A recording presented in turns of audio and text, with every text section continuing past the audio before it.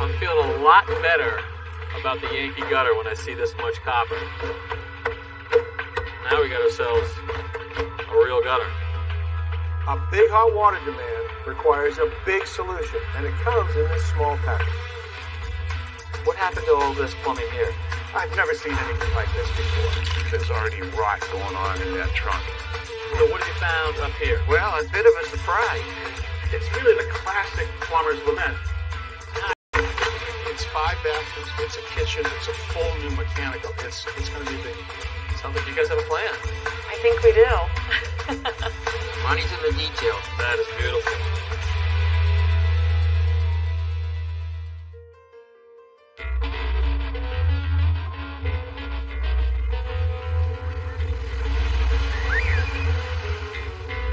Hi there, Kevin O'Connor, and welcome back to this old house where we are working on a beautiful Queen Anne Victorian here in Narragansett, Rhode Island, which is a town that has a rich history as a resort summer community going all the way back to the mid 19th century.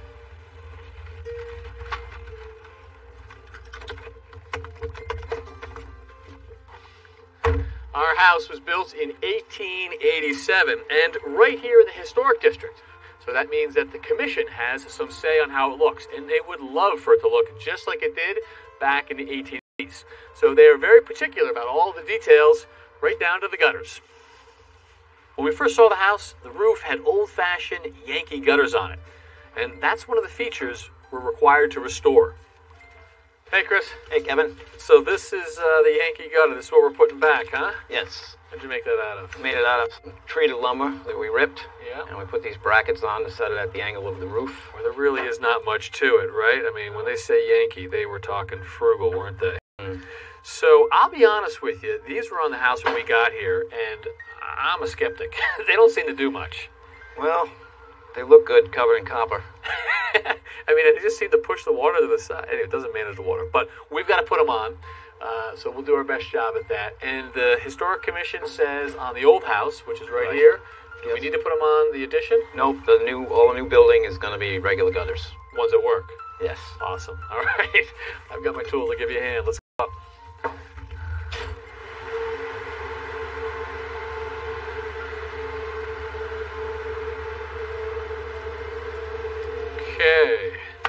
So, Chris, tell me how you prepped for this.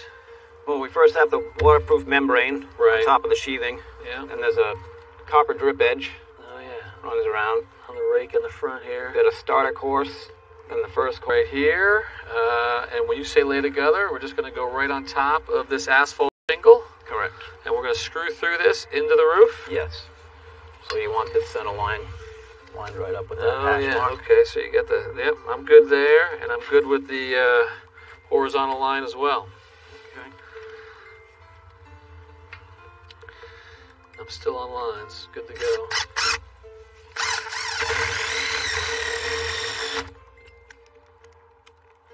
Kind of crazy to drill right through a roof, but this is self-adhering, self-sealing, and you got a uh, Six inch.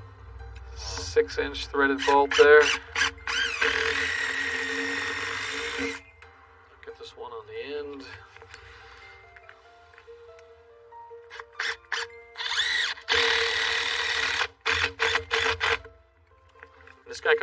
Yes.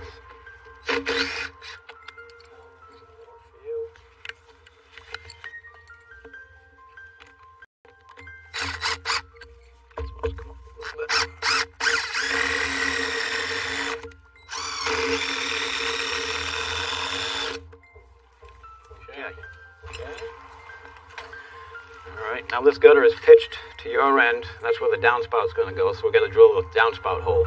So you're going to mark and a hole there already. Just right through it. All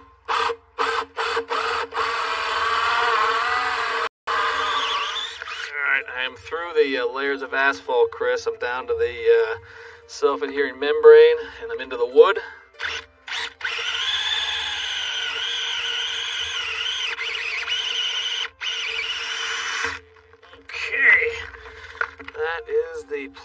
from the original house, so we are through. All right, so flashing, I presume? Yes, we've got a piece of copper that's going to run the length of this. It's got a downspout. It's going to go right through that hole. Yep. We'll tack it on, roll some Vycor across the top of that. Good to go. You think the old Yankees used copper? Uh, not on this one. Not on this one. All right. Right over your head. Look at you. Okay. There's that little downspout. Put that right through. Oh, this is a nice, nice job. Look at the way it just wraps right over that. Goes right through the hole. I'm feeling a lot better about the Yankee gutter when I see this much copper.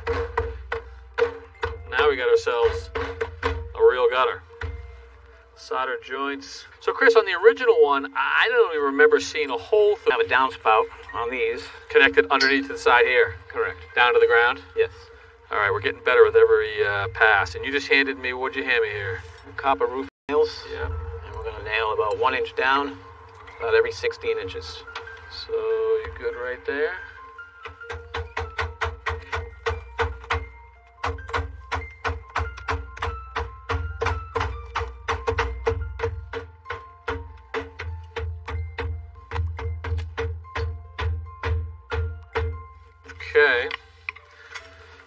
Next? Well, we're gonna use a rubber membrane. Gonna come down halfway. Okay, nine and a half, four and three quarters. So I get better about feeling better about this every inch of the way, Chris. Copper, now membrane. this might actually work. First time in 130 years they're gonna have working gutters. Thank you.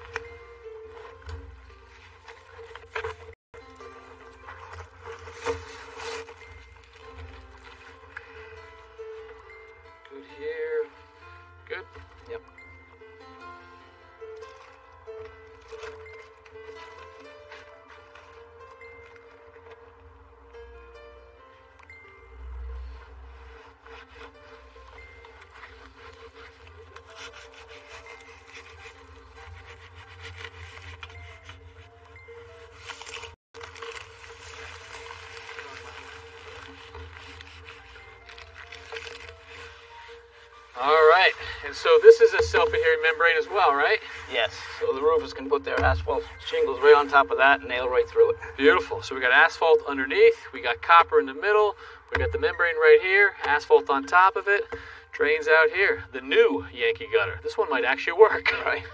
I love it. It's actually a cool look. Our Generation Next initiative this year deals with the electrical trades, and our apprentice is working with Ben Giles, who is Jeff Sweenor's go to electrician. They're working here in the back room. Hey, Zach. Hey, Ben. Hey, how's it going, Kevin? All right. What are we working on today?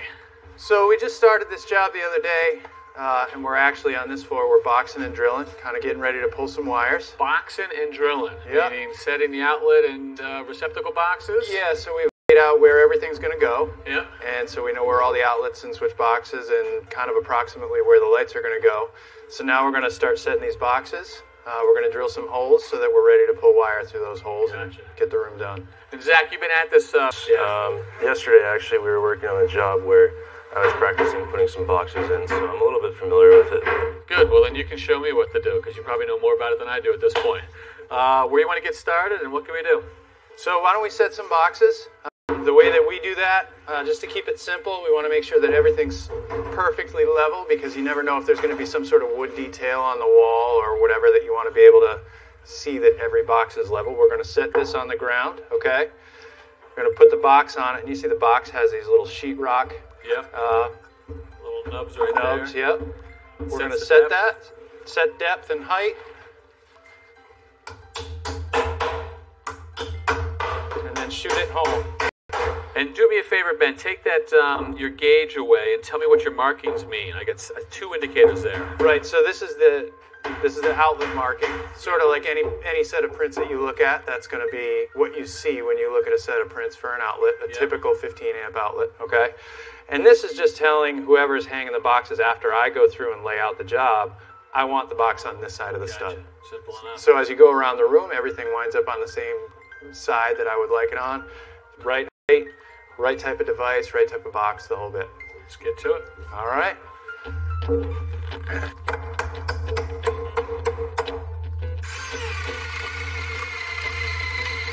Brace the drill well, drill right in the center, and try and keep it nice and straight. I got it.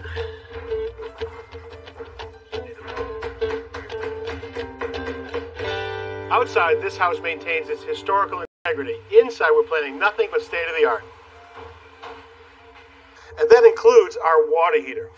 You know, if you got a typical house, it's pretty straightforward what size water heater you need to put a tank type water heater in. It's a bathroom or two and a kitchen, end of story. But in a house like this that has a big tub, maybe a jetted tub, and body sprays and hand showers and all the like, you really have to be careful because it starts to add up.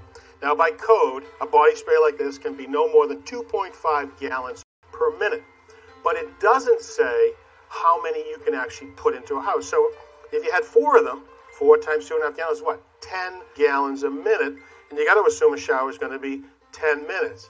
That means you need 100 gallons of hot water ready to go uh, just for the body sprays, not even counting the tub. And that's in one shower. So 10 gallons a minute, somebody takes a 10 minute shower, that's 100 gallons of hot water you need to go right then. So many people just in a, t- a big tank type water heater or two. Uh, we've seen two and three. Now that means that those tanks sit hot 365, 24 7, energy penalty for that.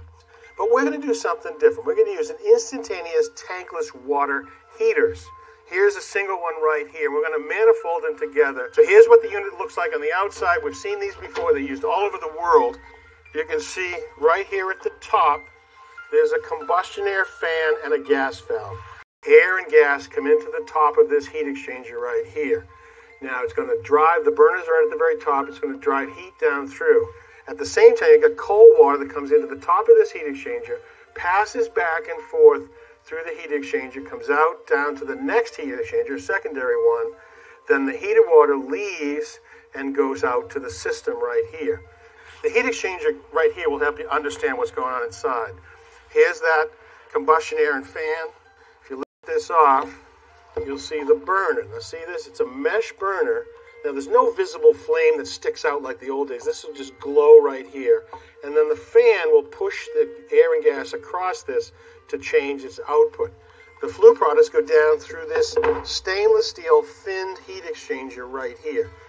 The water's going back and forth, back and forth, back and forth. The flue products come down through. The heat gets transferred into the water. The water come down to a lower heat exchanger. Now, a lower heat exchanger, you can see it right here, it's going to extract even more temperature, and the water, the heated water, will then go out to the building. Now, the only byproduct that's left is a little bit of flue gas temperature and some water. And right here, you can see there's a condensate pan that catches the water and sends that water out to the drain. So that's how a single device works, but we're going to actually have three working together here. In order to do that, the system has to have some smarts. Each one of the units has this metering device right here for the cold water, and you can see this control right here. The control on each of these units will communicate through the brain right here. And what happens is it figures out now who's going to do the work. If somebody opened just a faucet in the kitchen with a very low demand, one of the units would come on, modulate the burner, and put out just the right amount for that really low demand. But as more and more demands happens, it'll figure out the smartest way have the units come on so it'll keep up with the demand and make sure that you don't notice it upstairs. The nice thing is though, if when this system nobody's using water at all, this system uses zero, unlike a tank type water heater. All right, it is time to get started with this installation. Josh Jordan is our plumber. Josh, we're back in this awful basement. I try to forget it. Once again, Yep. All right. So you've got started? Yeah, uh, well, they built an actually nice wall for us, and we have the unit mounted. All right. Uh, we have this big, beautiful manifold. So sort of a pre-engineered system. Looks like two-inch copper right here, and you got the tappings for the cold the hot. You got a gas manifold there. And what's nice is these flexible connectors right here for cold, for hot, and for the gas. Beautiful. Smooth. All right. And what about venting? Uh, venting, we have all three are going to get uh, common vented together in one concentric kit on the outside of the So house. only one thing you'll see on the outside Yep, of this. yep. That's what it would look like. Yep, this, it'll be this, but Of course, Jeff's guys will cover that with copper to make it look oh like yeah, it it'll be belongs there. beautiful when it's done. All right, cool. Um, they're all going to get common vented together. We have uh, a valve set up on top. So that's pretty ingenious. This has a backdraft damper in it. You know, you don't think much about it, but this is really important. You know, you got one unit firing into a common vent. You don't want the flue products coming over into the other unit because like the CO and everything else could make combustion go bad. Exactly. No CO problems great. at all. Really smart. Really well engineered. All right. Well, I will. Should I get out of your way so you can? Sure. Yeah. Yep. I'm ready to take a shower. Yeah, we can uh, we can hang, get these other three hung, uh, the other two hung, and get rolling. All right. Thanks as always, brother. Have a good day.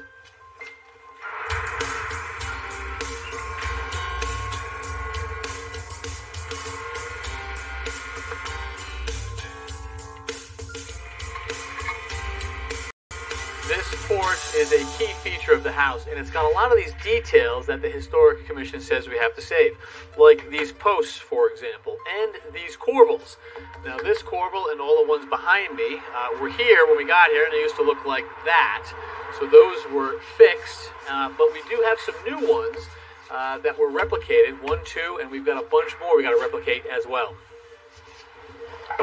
So, Tommy, how many more of these do we have to make? We have to make six more. I've got five here and one more to cut. All right, and this one um, could not be saved. It's got a really bad corner, but you were able to put it to good use and make it a template. Right, so the two things we want to save about this is we can get the thickness that we need Yeah. and also the dimensions that we need, and we can transfer all of those measurements to this piece of wood right here. And that means that we put it down, we place it on here, we trace it, and then we have a template so we can match exactly our new corbels. So these are done. And what is the species of material? All right, this is Spanish cedar. It's two and a half inches thick. Now, Spanish cedar holds up very good for exterior wood. So this is not a glue up. That's actually the thickness. Solid right. wood, just like the original. Yeah. All right, so as you see, I've drawn a line right here. To draw that to draw that line, I've used my template. So what I like to do is I actually take the template instead of making it flush with this edge right here, I set it in just about an eighth of an inch, and I set it. Set it in just a touch. You're going to trim this up. I want to make sure that when I make a cut here, it doesn't come off the table, uh, the bandsaw wrong, or maybe I have a little trouble with my router. So you can fine tune it. I can fine tune it later. So lines already drawn. Are we to the bandsaw? We're ready to the bandsaw. You want to cut this one? Yeah, sure. All right.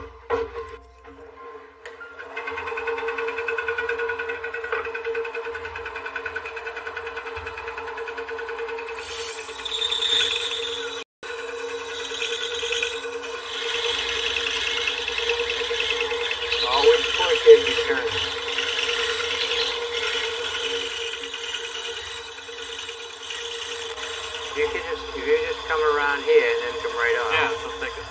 Nice and slow. Don't try to make your turn too fast. All right. Okay, so now what we're going to do is we're going to take our template and put it back on here because we didn't go beyond the line with the bandsaw. You did a nice job there, so I can put this right back on that line. I still have a little reveal here in the back. Put on my line. Get a reveal at the top, all, all the way around. I'll put a screw in here.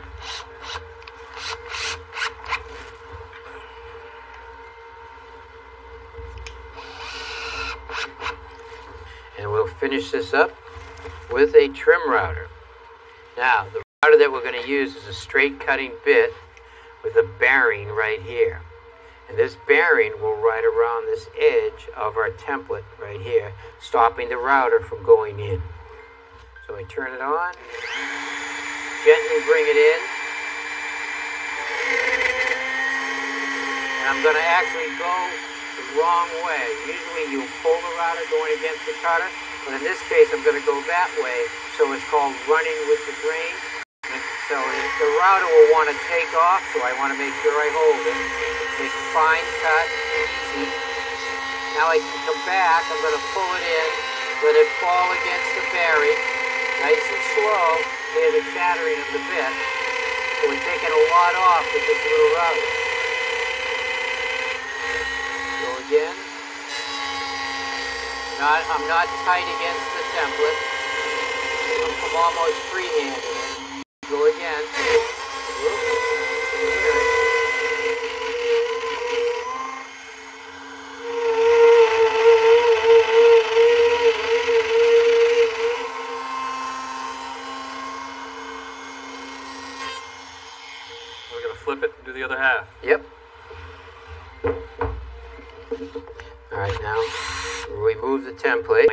Time the bearing is on the end of the bit. And we'll take this router bit and run it using our new cut as a guide. We'll follow that, make it flush.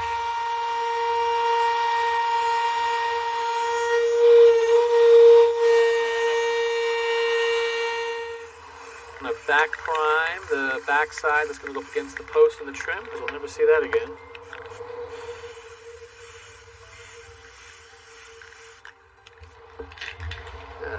So that's prime. It's good. Now we put it on. I'm going to run a little bead of caulking right down here, about a half an inch in from the edge.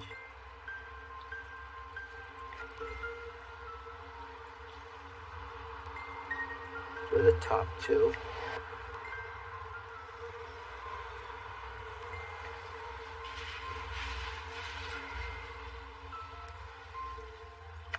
Okay. Okay, now hold it up there. Pre-drill a hole here in the bottom. Nice and tight. You got it? Push it up. There we go. Alright, watch around there.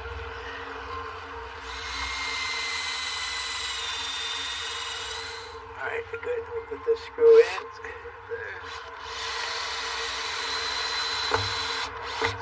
Alright, we'll get some bungs, fill those up, sand them flush Perfect match to what was on the house when we got here, and a beautiful detail to add. That is awesome, Tommy. Yeah, it looks real good. All right, so next time I've actually got to start talking about interior design with the homeowners. Yeah, and we're going to be doing those garage doors too. All right, well, you get all that and more. So until then, I'm Kevin O'Connor. And I'm Tom Silva. This old house here in Narragansett.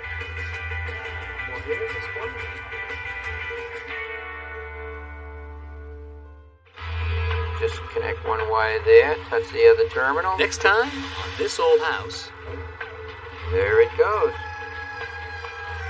Beautiful thing. That motor will do it, but I think two is really going to work. And you wouldn't want to make that that gable and body one color because there's just too much going on. Yeah, exactly. And if you want to see what's going on, the way you do that is with color. Right. This house is really elegant.